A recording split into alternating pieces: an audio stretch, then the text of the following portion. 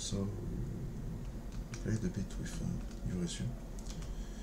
Uh, let me let me show you um, the combo I made. So it's using pressed for the light attacks in the top.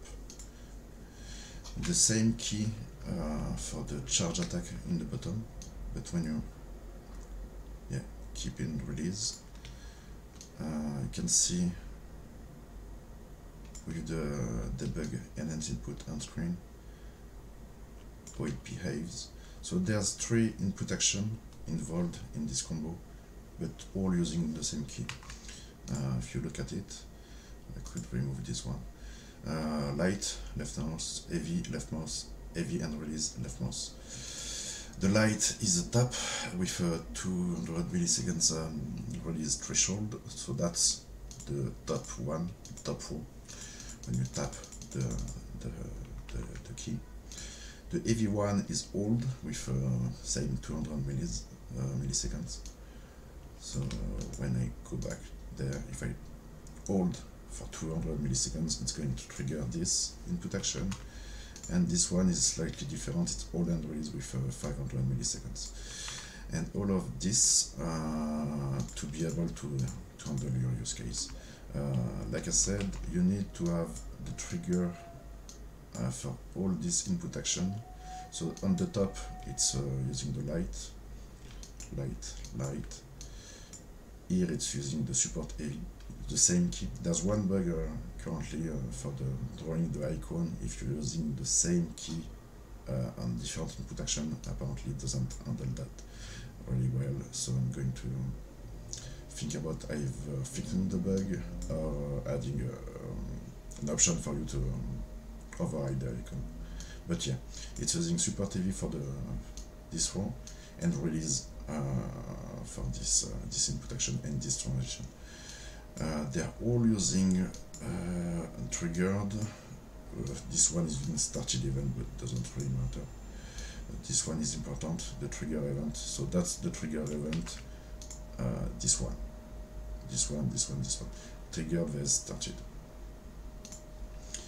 and uh, they're all using the heavy action. Triggered wait for combo window end. So when you transition from this node. And this one is using heavy release. So using this hold and release triggers for the input action. Uh, sorry. Let's go back to the combo and uh, the difference is it's using the transition immediately for the behavior. So you could also uh, use not this mon montage but uh, directly the, the and just one montage sorry. But what I why I did this montage is simply to have uh, the transition actually the behavior of charging the attack and then actually dealing the attack so the release part even when you hold uh, the input and go to the end of the montage and combo I'm still holding the, the key, uh, but just to ensure that you can get from this uh, this part of the montage and then the attack release part of the montage even if uh, the, um, the player doesn't release the, the key within this time frame.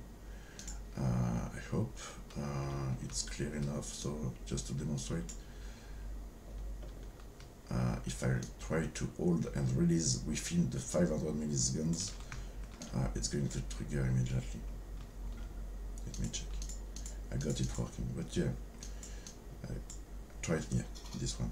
I try to do that pretty quickly and not spend too much time on it, but you have a lot of flexibility and power in your hand uh, with all these triggers and uh, you can mess around and um, tweak the settings to achieve the behavior you want. And I'm sure that yeah you're getting a consistent behavior. For instance I think in this case I'm not raising I'm raising too soon based on the settings on my uh, input action. But yeah. Let me check why I'm in this case because the release trigger with the hold and release doesn't okay but yeah you got the idea so that's it uh, I'm going to push this demo part uh, in a in a branch in the repo so that you can check it out. Uh, they're all um, all the files involved in this uh, little demo use case are in within this path. And um, sorry, the character um, I used for this is the the character in the demo, but I added this one, this stuff, and this stuff. Uh, so that's basically it. And uh, yeah, if you have any question, let me know.